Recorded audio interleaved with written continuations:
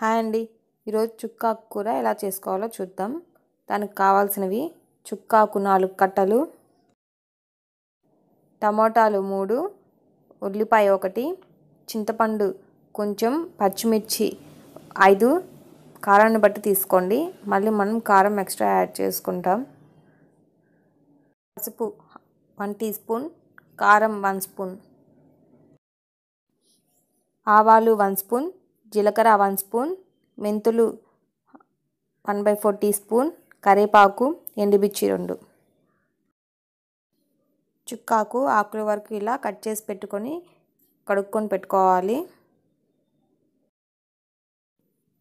కడిగి పెట్టుకున్న ఆకుని ఇలా చిన్న చిన్న పీసెస్గా కట్ చేసుకోవాలి. అందులో పచ్చిమిర్చి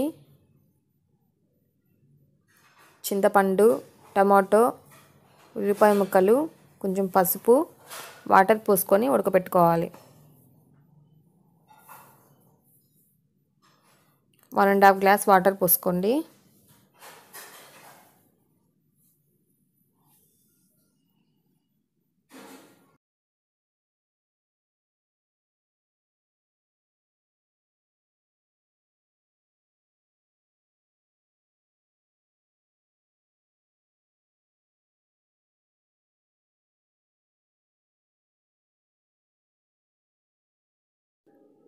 హాఫ్ స్పూన్ కారం one and half glass water పోసుకొని ఉడకబెట్టుకోవాలి.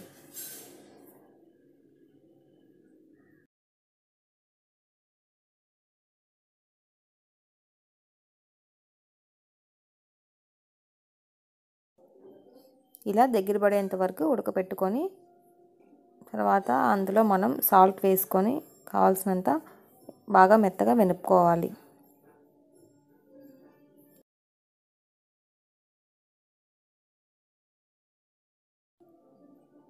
ఇలా మెత్తగా వెనుక్కున్నాక మనం పోపు పెట్టుకోవాలి.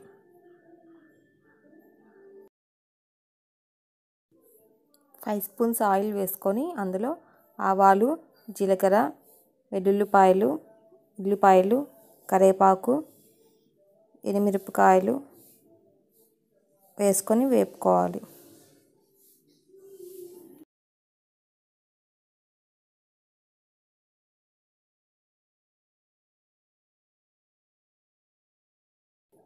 ఇలా పోపు వేగాక మనం మినప పెట్టుకున్న ఆకుకూరను వేసుకొని ఒక టూ త్రీ మినిట్స్ అందులో ఉడికించుకోవాలి. అప్పుడు మనకి పోపు ఫ్లేవర్ కర్రీకి బాగా పడుతుంది.